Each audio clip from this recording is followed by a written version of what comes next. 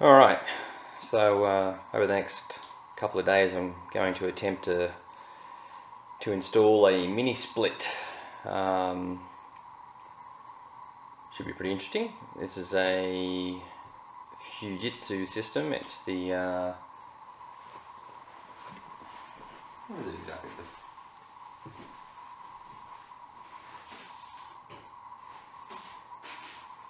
Oh, the ASU 15RLS3 is the name of it.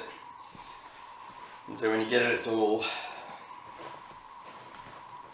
packaged up into a uh, well, bunch of boxes. This is the head unit, so the indoor unit. And you can see there's the, the rest of the box. This is going in our gym because it gets really hot in this room and we want it to be cooler. So um, we'll be able to cool it in uh, in summertime and heat it in winter.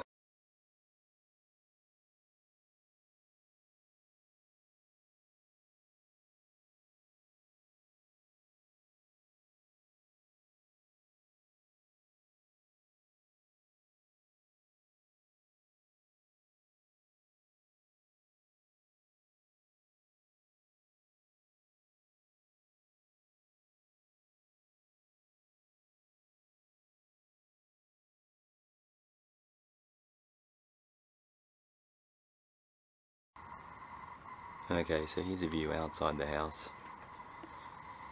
As you can see, my wall sort of angles off at 90 degrees and what I want to do is come through this small portion of wall here and run the line set down the wall.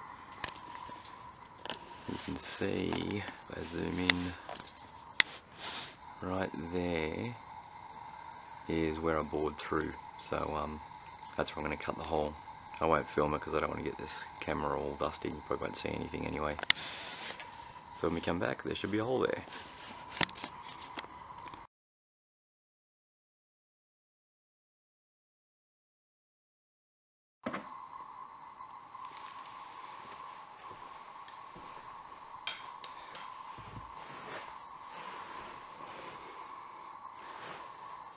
So one thing to be aware of with this is I just noticed when I installed it up there on the bracket a little bit of this that's hippo. Get out of the hippo.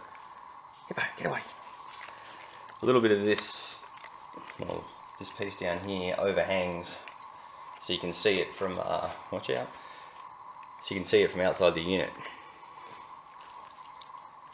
And so what I'm going to do is just a little line here and cut it off hopefully a little bit uh, enough to Get out of it. Stay there, hips. Hippo. Sit.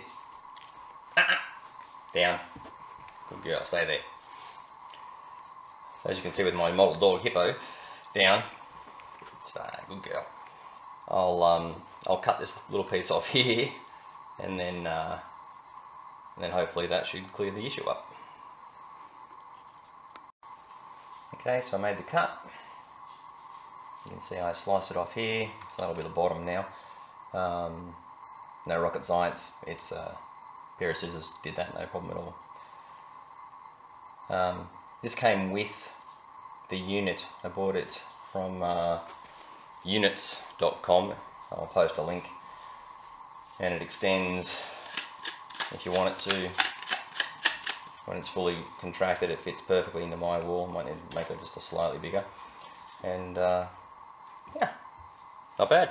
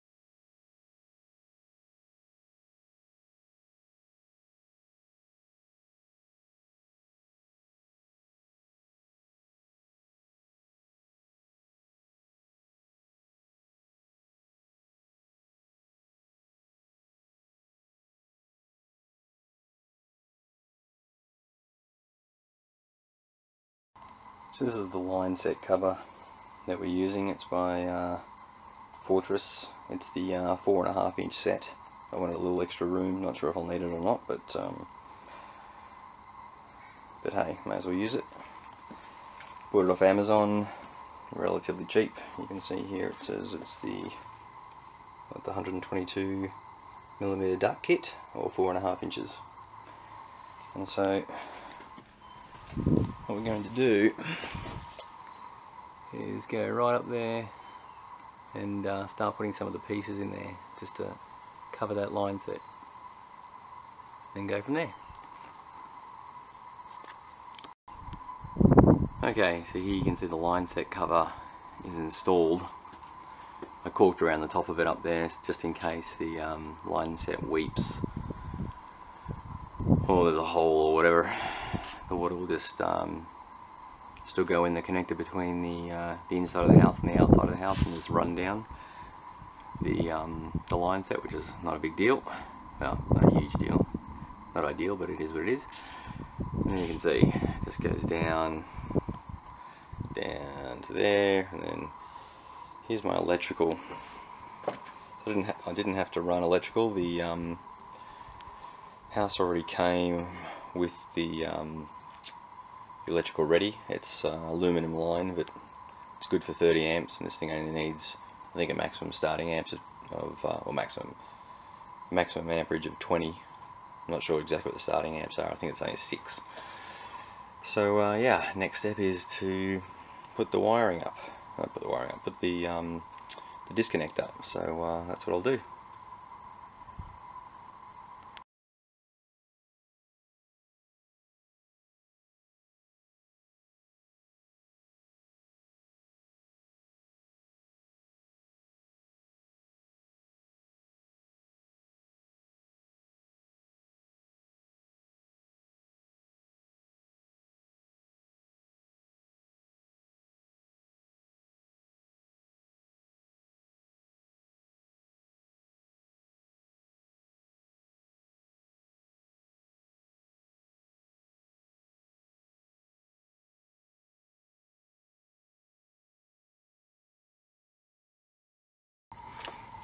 Alright, now I'm going to torque it with the torque wrench. I've got it set to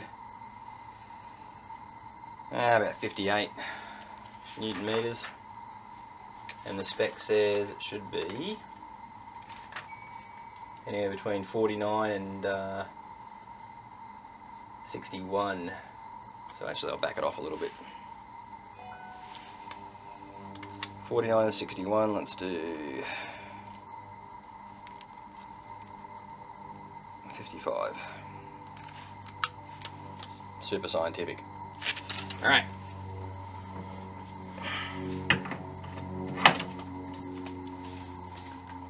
Use the other wrench to counter your turning. You don't want to snap the thing off. Clearly.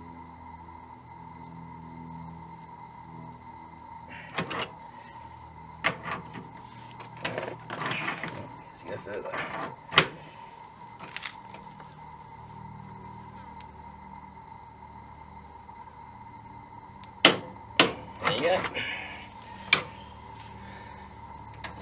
Theoretically done.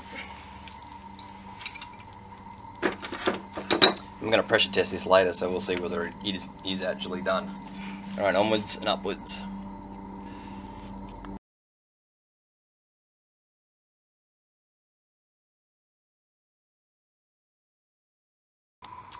Okay, so now I'm running a, uh, a pressure test. I've hooked up the nitrogen cylinder and uh, running it through the, the manifold here and into the uh, service valve. I still haven't released any of the gas yet from the um, from the unit itself because it comes shipped with gas.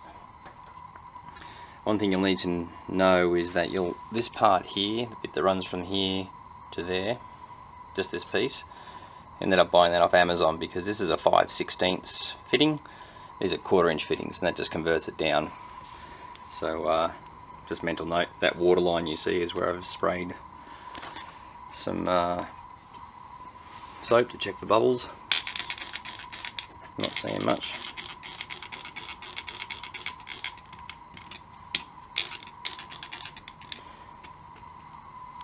So yeah, it's um, it's doing pretty good. Down to 202.4 PSIG, so um, seems to be holding pretty true with that. I'll leave it for another 10 or 20 minutes. It might drop a few, uh, well, a few points of a PSI because it's starting to cool down here. So, yeah, we'll see what happens.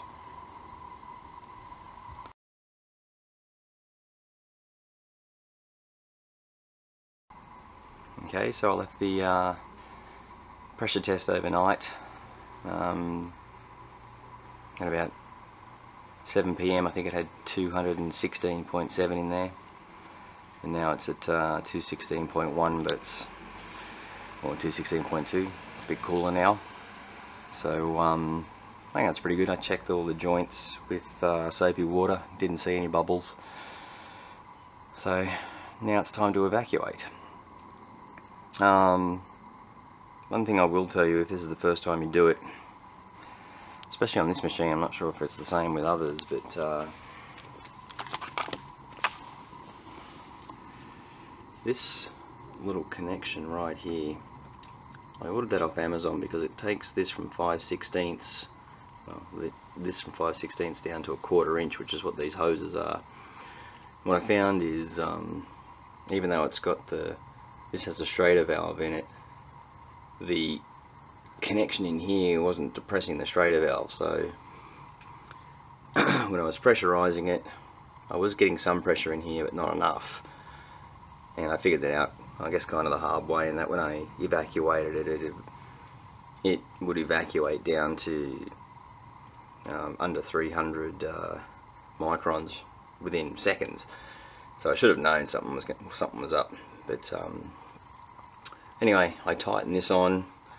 Got my little wrench on it. Um, not too tight just enough to know it's it's actually um, going in there now. And the way I figured it out that there was pressure in there is I just put my finger on the uh, valve itself and depressed it and and some of the old nitrogen was coming out. So um,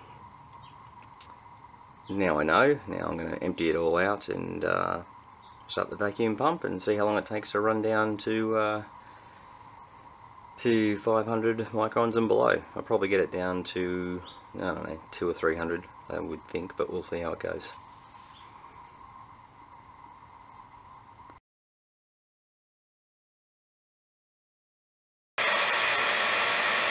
Okay, so now I'm going to disconnect the, uh, the vacuum. I'm down to 155 microns, so I'm going to disconnect that from the system real quick. And then uh, we'll go from there.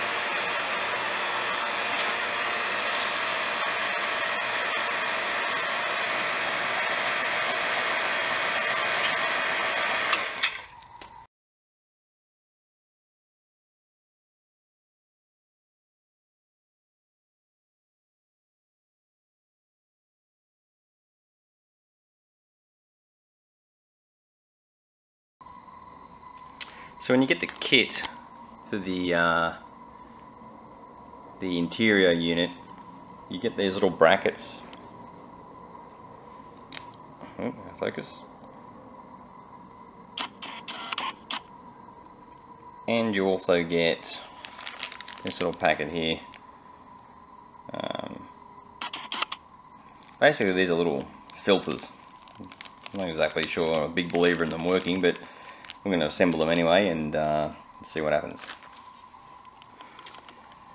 The way it works is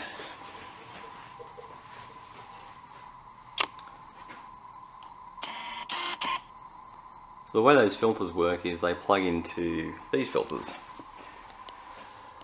So just go up here,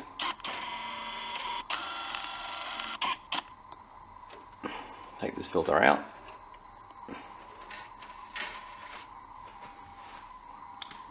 And on the back of it you'll see we've got those little tabs there and this filter will plug into the bracket and the filter will plug into that so let's go and assemble them.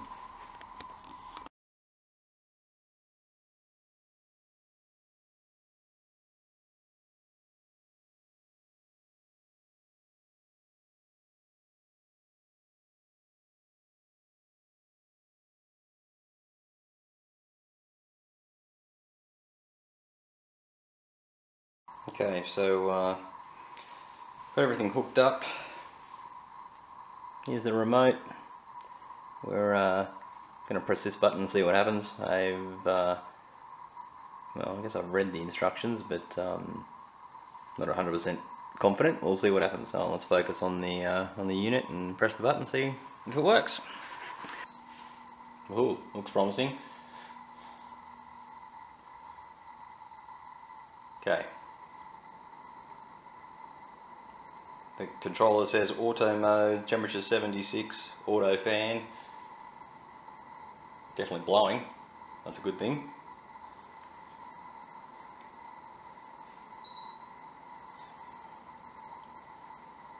Okay, I'm going to tell it to cool it down to 70, actually 68 and see what happens. Oh yeah, it's starting to get colder now. That's a unit outside.